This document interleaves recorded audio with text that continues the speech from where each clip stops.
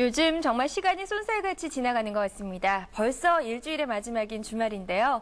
예, 오랜만에 극장 나들이 계획하는 분들에게 유익한 개봉 영화 가이드를 해드립니다. 자, 이번 주말 극장과 개봉작들 함께 만나보시죠.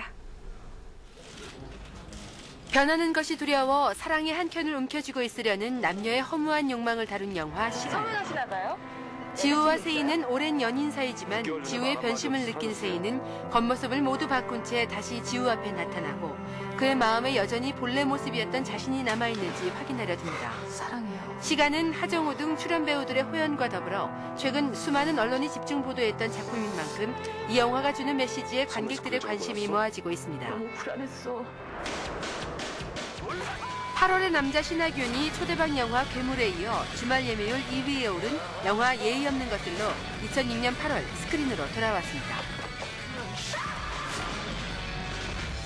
모기 박멸에만 킬라가 쓰이는 게 아니라 사람 박멸에도 킬라가 나선다. 혀가 짧아 슬픈 남자 킬라는 폼나게 살고 싶지만 맘처럼 되질 않습니다. 어느 날 1억 원만 있으면 혀 수술을 할 수 있다는 말을 듣고 평소 칼질에 기막힌 소질이 있던 킬라는 수술비 마련을 위해 사람 잡는 킬라가 됩니다. 코믹 노아르 예의 없는 것들과 한날 개봉한 코미디 영화 잠시만이라도 원탁의 우리 천사. 아들 원탁의 가장 친한 친구가 돼보고 싶어. 원탁의 천사는 충무로 흥행 중견 배우로 떠오른 임하룡과 다수에서 영화 배우로 데뷔한 이민우, 하하, 김상중의 연기 호흡이 척척 드라마자 관객들을 포복절도의 산매경으로 빠지게 만들 텐데요.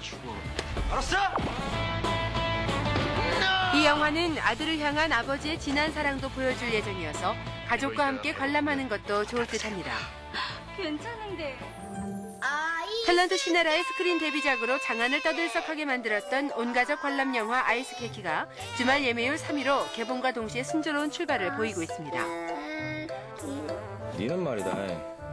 혼자 아들을 키우려 밀수 장사를 하며 살아가는 미혼모로 연기 변신한 신애라와 아역스타 박지빈의 감동 연기가 압권인 아이스케키는 가족의 진정한 의미를 돌아보게 만들어줄 것입니다. YTN 스타 백현주입니다.